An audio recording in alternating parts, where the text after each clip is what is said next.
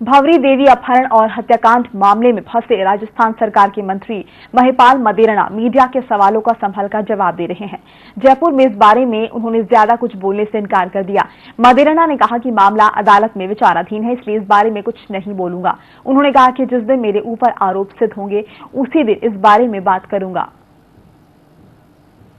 मैं आपसे यही अनुरोध करता हूँ, जो पत्र मीडिया की गरिमा है, मर्यादा है, मान है, सम्मान है, और जो बात है, उसको आप जनता तक पहुंचाएँ।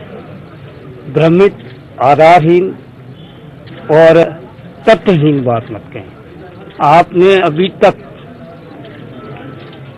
किसी भी कॉम्पिटेंट अथॉरिटी के द्वारा कही गई बात नहीं कही। फ़िलहाल ब्रेक के लिए फ़ौरन लौटेंगे कुछ और खबरों के साथ। thank you.